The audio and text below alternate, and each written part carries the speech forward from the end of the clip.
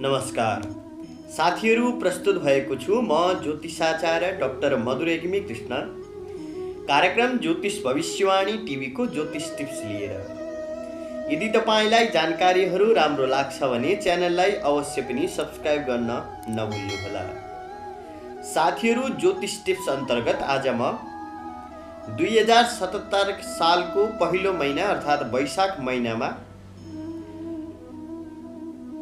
सिंह राशिका व्यक्तिहरूलाई तपाईँको राशि मालिक सूर्य ग्रह उच्च स्थानमा रहेर नवम भावमा रहेर अर्थात् भाग्य भावमा रहेर कस्तो फल दिनेछन् र साथै दशम स्थानमा शुक्र र एकादश स्थानका मालिक बुध ग्रहले तपाईँलाई के कस्तो प्रभाव दिनेछन्? ध्यानपूर्वक सुन्नुहोस्। सिंह राशिका व्यक्तिहरूले सर्वप्रथम तपाईँ सिंह राशिको व्यक्ति हुनुहुन्छ र तपाईँको जन्म कुण्डलीमा पाँच अङ्कको अथवा एक अङ्कको विशेष गरेर सूर्य स्थित रह रहेका छन् भने तपाईँलाई अझ राम्रो फल दिनेछ। अरू अङ्कमा हुँदाखेरि कम फल दिनेछ।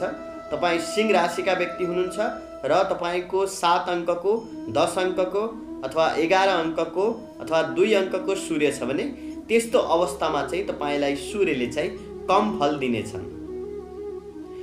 चिनामा हेर्न सक्नुहुनेछ तपाईँको सूर्य कुन अङ्कमा छ त्यही अनुसारले फल अलग अलग मिल्नेछ। सम्पूर्णमा हेर्दाखेरि सूर्य ग्रह उच्च स्थानमा तपाईँको नवम भावमा अर्थात् भाग्य भावमा रहेर उच्च अवस्थामा रहँदाखेरि तपाईँ सरकारी क्षेत्रमा कार्यरत हुनुहुन्छ अथवा सरकारी क्षेत्रमा जाने तयारी गर्दै हुनुहुन्छ भने तपाईँले चाहिँ सकेसम्म यो समय आफ्नो ग्रहहरू जुन खराब दशा चलेका छन् त्यो कटाएर आफूले मेहनत गर्नुभयो भने तपाईँको यो समयमा दुई हजार सतहत्तर सालको वैशाख महिनामा चाहिँ जागिरको बढी सम्भावना देखिएको छ सरकारी क्षेत्रमा।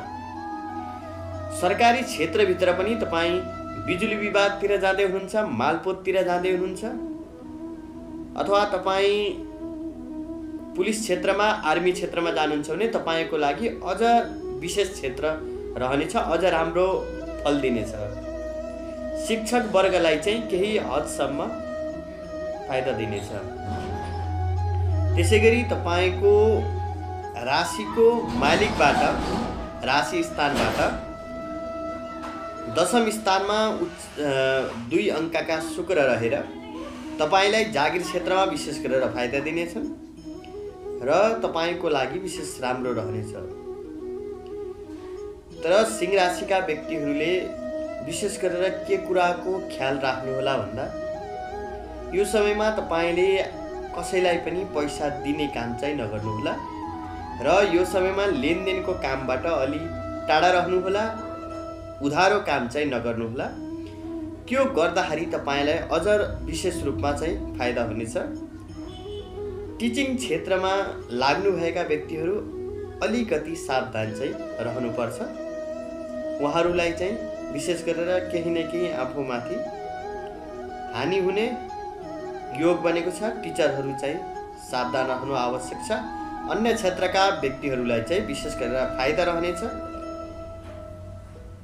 त्यसपछि तपाईँको यो समय भनेको लगानी गर्न चाहनुभएको छ। अथवा नयाँ क्षेत्रमा प्रवेश गर्दै हुनुहुन्छ विदेश जाने तयारी गर्दै हुनुहुन्छ भने त्यो समय तपाईँको लागि चाहिँ केही अप्ठ्यारो पर्न सक्छ। त्यही भएर वैदेशिक कार्यमा चाहिँ ख्याल गर्नुहोला। जागिर क्षेत्रमा बढी अग्रसित हुनुभयो भने तपाईँको लागि राम्रो रहनेछ।